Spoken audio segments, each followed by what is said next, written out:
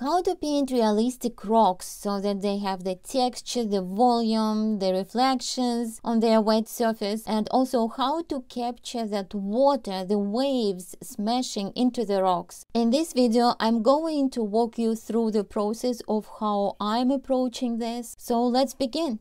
First, let's create the interesting shape of the rocks. I love how it goes on diagonal through the page, so it makes it more dynamic. It's great when I know right from the beginning what to emphasize in my picture what the center of interest is going to be. Here, of course, it is this crashing wave and it's the strongest area of contrast, basically, this white or almost white foam against this darker wet rock. So the eye definitely goes to that right away. And you probably noticed that my crashing wave is quite a bit larger than what we see in the picture. And that's where my artistic license comes in because I can redesign certain elements if it improves my composition, if it creates a better visual story. It's not all just about that big splash there's plenty of interest within the rocks themselves and I want to show that. I want to show the difference between the dry surface of the rock and the wet surface of the rock that picks up the reflection from the sky.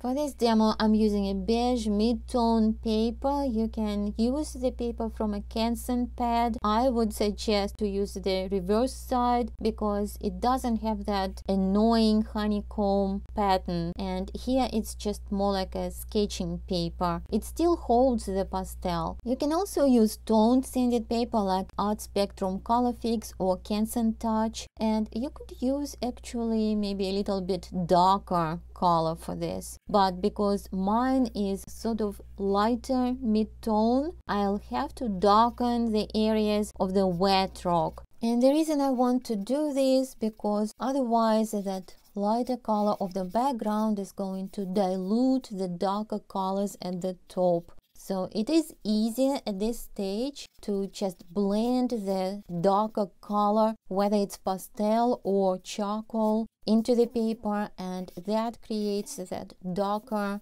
underlying color so that later when I start layering darker pastels on top of it, it's the darker color that's showing through, the darker value. And it's not going to kind of compete with that darker pastel.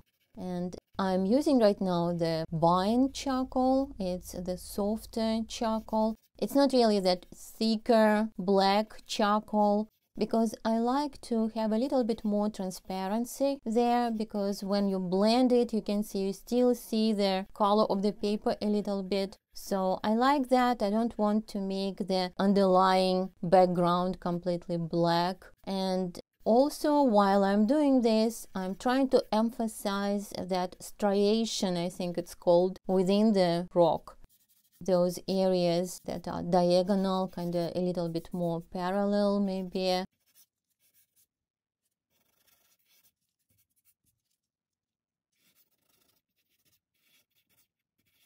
And finally, when I have that darker area set up, now I can start layering my pastels, my softer pastels on top of it usually I go pretty much right to softer brands of pastels if I'm working on a non-sanded paper because this paper is not going to take a lot of layers so it's better to get right to the colors kind of combinations of colors that I want to see there I start with the darkest colors. This particular one seems to be the Terry Ludwig eggplant or some other very close to it color. And then I also want to add maybe a little bit more red, darker color. And I also keep blending them. At this point it's fine, usually I'm not blending too much at least not in the top layers but here because I'm still kind of setting up the foundation for the final marks or for the later marks that I will leave alone here it's just uh, nice to create that richer color for the underlying layers. And if you squint your eyes right now, it's just overall darker area. And also at this point, I start adding a little bit of a variation within the colors. And I set up that darker area which is kind of purple and dark burgundy and browns. And now for the lighter, for more sunlit areas or for the drier areas, I'm using maybe like ochres so that there's definitely that distinction between the more wet area that's right next to the water and the rock, the area of the rock that's at the top.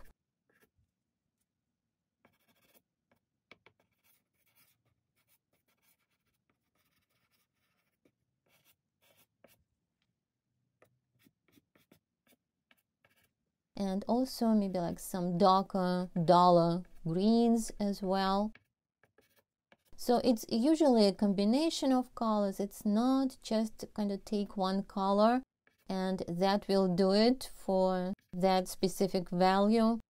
Also on the rocks we have some moss some maybe vegetation growing whatever that's called seaweeds not sure. So that greenish color kind of is a hint at that. And as I'm working, of course, I keep losing the initial shapes and I have to redefine them. So that darkest color, that Terry Ludwig eggplant, is showing up again and again to emphasize those cracks, those cracked surfaces in the stone. And here it would be impossible to try to get every tiny detail within the rock. So what I'm usually trying to do is just to pick up the rhythm the rhythm of those striations within the rock. So if it's maybe diagonals following certain way and then just introduce some interesting detail within that.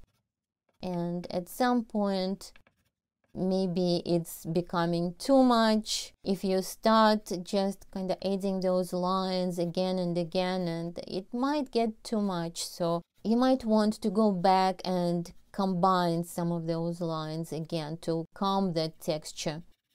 So now that I build up some interesting color within the rock and it's not final of course but still now I can start working on the water and of course we have the foam a lot of foam right next to the rocks but it's not what I'm starting with. At first I'm trying to set up the color that we're going to see through the foam. And in the distance it's kind of more blue color so I will have the contrast of that area with the foreground area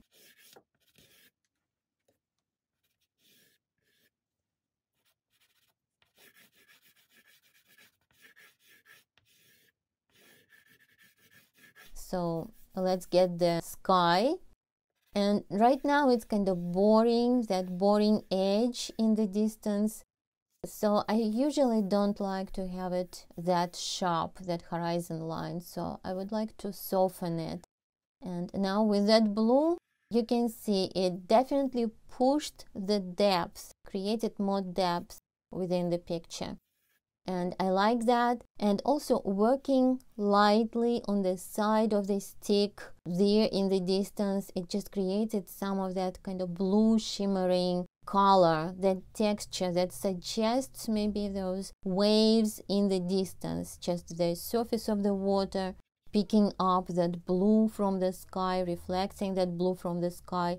And that's why we see that in the distance. But closer to us we are going to see more of a bottom of the ocean of the sea whatever that is. Well this is the ocean but we're going to see more of the color of the bottom and that's going to be maybe like more green or maybe more brown whatever we see through the water. So it's going to be a little bit warmer color not as blue.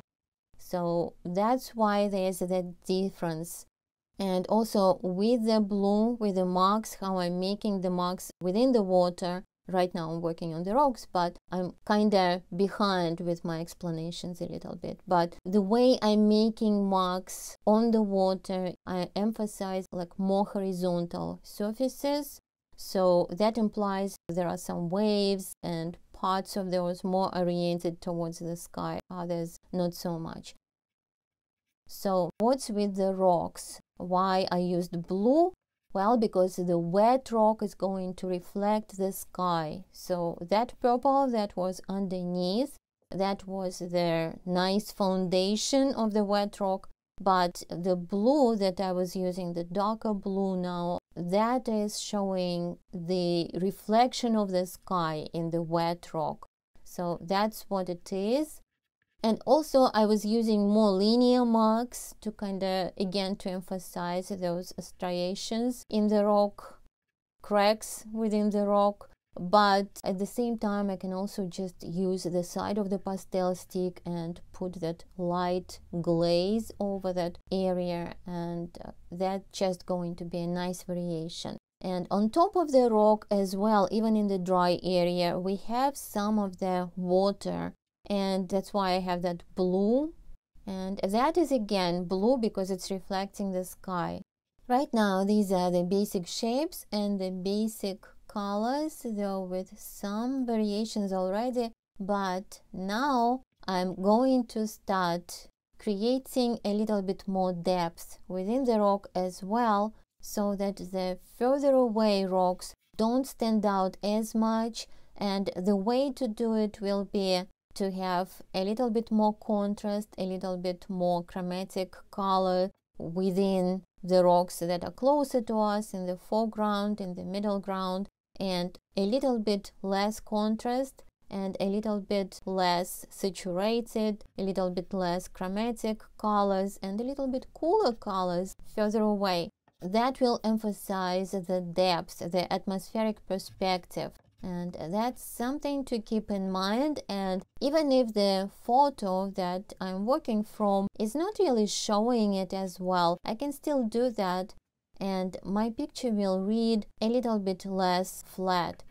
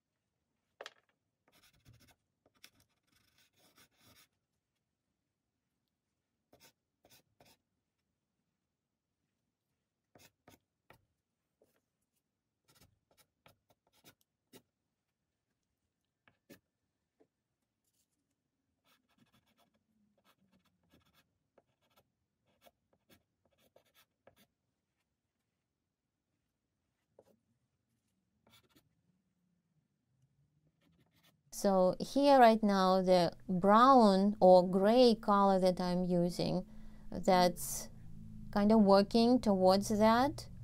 And definitely works in the distance but I'm going to use that color in the areas that are closer as well a little bit so that I have that nice unity within the picture. But overall I do want to use less chromatic more neutral, more toned down color. In the distance, it can still be warmer, but it's not going to be as chromatic as what I'm going to end up with closer to us.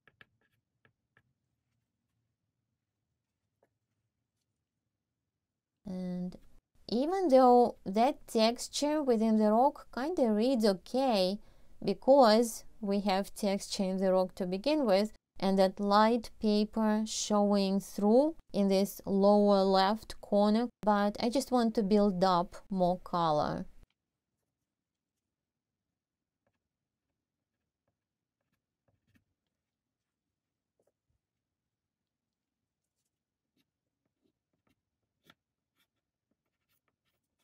I want to build some of these oranges into the rock, particularly closer to us and maybe even a little bit in the distance, just a hint, but definitely close. And it is a nice orange color, but at the same time, it's kind of more neutral. It's not your bright orange.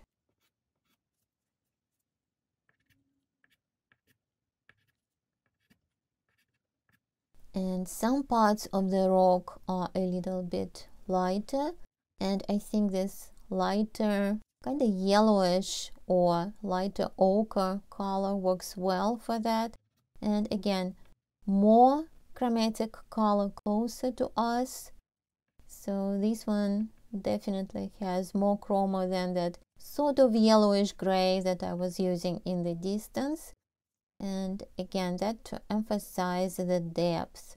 And that water that we see on top of the rock that's reflecting the sky. It has a little bit of a dark outline on the side where it's in the shadow. So I want to show that. I want to show that it's not just sitting flat. So there's of course more going back and forth with the cracks in the stone because I constantly keep losing track of that because I keep adding colors on top of it, on top of that darker color and it kind of eliminates those darker indents, darker areas. So I have to find them back, bring them back constantly.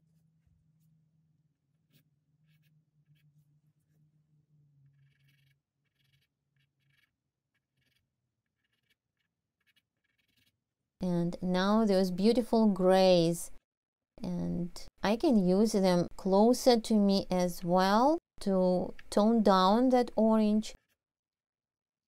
You can definitely see how I added more color overall into my rocks as opposed to the reference picture. Also, we can see the difference between the wet area of the rocks and the dry area of the rocks and we can see that there's more saturated, more chromatic color in the wet rocks. So that's something to keep in mind as well.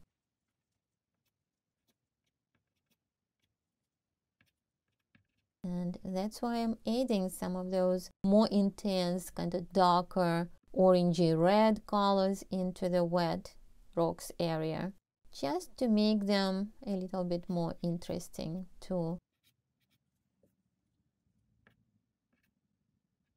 If you enjoyed this video, please let me know. Please give it a like. And this way, YouTube will also know that they should show it to more people.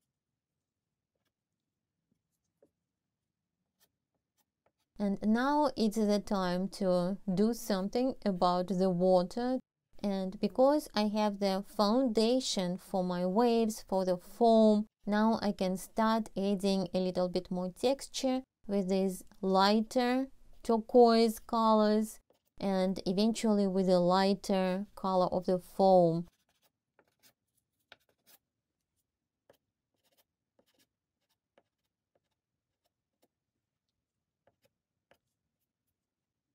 The water also is kind of finding its way here between the rocks in the lower right area but I want to be careful there so that I don't end up with a very sharply outlined kind of passage of the water. And now it's time to start bringing in the foam. I want to add movement with my marks and I'm not going to use just white. Like here I have two blues. One is a little bit darker but still very light blue. And then the lightest one will be for the highlights on the foam and this way I'm going to create texture and it's not going to look flat. I want to show that the water is rushing in towards the shore so I'm using my marks in a certain direction and here between the rocks for example it slows down and the marks are becoming kind of longer, slower also, the foam is a nice leading element in the composition And here I can use a little bit of it in the distance, but I'll make sure it's not the brightest in the distance. And now I can start building that exciting foam splash. And I did reserve some of that area of the rock. It is lighter. I also wanted to keep it cleaner so that when I just drag my pastel stick on the flat side over that area. It doesn't really pick up much of that darker color from the underneath. So it's easier to keep it nicer. And also when I'm building that foam burst I want to give it a little bit of volume. So it's not just all white color the lightest color but in some areas where it's away turned away from the sun the opposite side it is a little bit darker. So on the left side that foam burst is going to have a little bit more turquoise or blue maybe something like that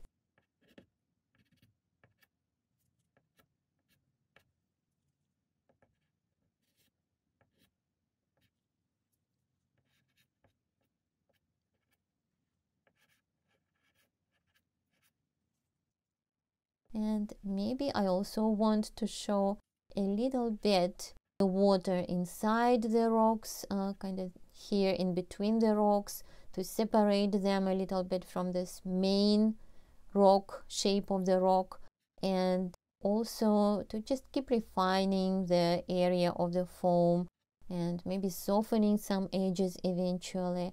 And also an interesting detail is when the water is rolling off the rock so that could be also exciting. I could use the foam spray here the toothbrush to create that foam spray but I decided not to. It's just an exercise just a quick kind of exploration of the subject. So just dragging very lightly the light pastel stick over the surface and upwards kind of releasing it so that it has that feathering effect that worked that created that foam splash.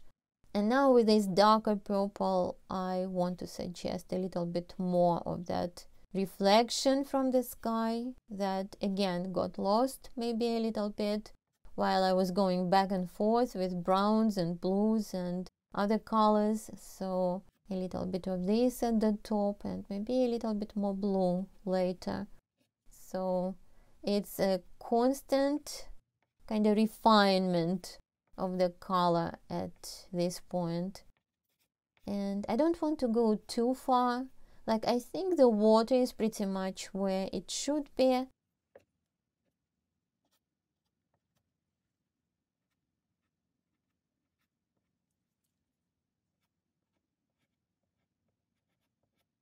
And the rocks again yes pretty much where I want them to be but now with this blue I want to show the surface of the rocks where we have that brighter reflection brighter blue reflection of the sky. And maybe to show how those planes of the rock are separated from each other. So something like that maybe a little bit of that greener, darker, duller green color to push the darker areas. So it's not just all kind of purples, dark purples, so that we have some earthier color here as well. And again, to remember not to start adding too much sharp-edged detail in the distance. I want that to look softer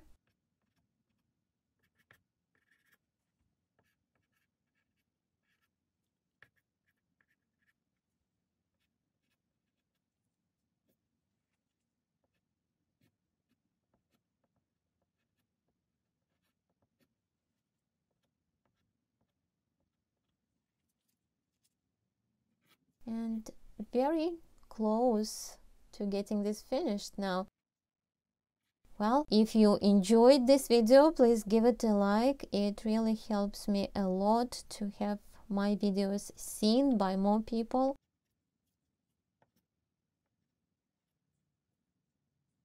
look at this blue, how it really picks up that sky color when I add it. Also, at the time of making this video, I'm working on a larger self-study course that is going to have several videos on this very subject, coastline, rocky coastline, crashing waves, and all that interesting stuff. This course will include several demos, longer and more detailed demos, and also a few examples with a wet underpainting technique, which is really great for the seascapes I will be announcing the best special price for this course, the pre-launch price. And if you don't want to miss it, please sign up for my newsletter and the link is in the description below. And if you watch this video later, when the course is already published, I will have the link to the course in the description below. So either way, check it out if you're interested in this subject and I hope you check out my other seascape videos here on YouTube and thank you for watching and I will see you next time.